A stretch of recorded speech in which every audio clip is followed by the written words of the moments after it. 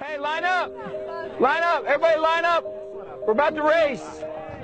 Everybody line up. Shoulder to shoulder. Take off your backpacks. Basketball, line up. We're about to race. Hey, we are we are racing for a hundred dollar bill. The winner of this race will take this. A hundred dollar bill. Before I say go, I'm going to make a couple statements. If those statements apply to you, I want you to take two steps forward. If those statements don't apply to you, I want you to stay right where you're at. Take two steps forward if both of your parents are still married. Take two steps forward if you grew up with a father figure in the home. Take two steps forward if you had access to a private education. Take two steps forward if you had access to a free tutor growing up.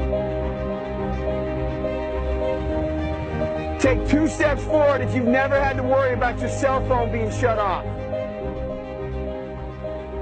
Take two steps forward if you've never had to help mom or dad with the bills. Take two steps forward if it wasn't because of your athletic ability. You don't have to pay for college. Take two steps forward if you never wondered where your next meal was going to come from. I want you guys up here in the front just to turn around and look. Every statement I've made has nothing to do with anything any of you have done. Has nothing to do with decisions you've made. Everything I have said has nothing to do with what you've done. We all know these people up here have a better opportunity to win this hundred dollars.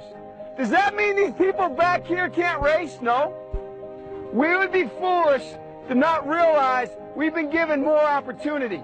We don't want to recognize that we've been given a head start. But the reality is we have.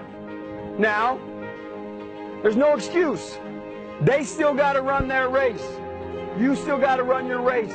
But whoever wins this $100, I think it'd be extremely foolish of you not to utilize that and learn more about somebody else's story. Because the reality is, if this was a fair race and everybody who's back on that line, I guarantee you some of these black dudes would smoke all of you. And it's only because you have this big of a head start that you're possibly going to win this race called life. That is a picture of life, ladies and gentlemen. Nothing you've done has put you in the lead that you're in right now. When I say go, on your mark, get set, go!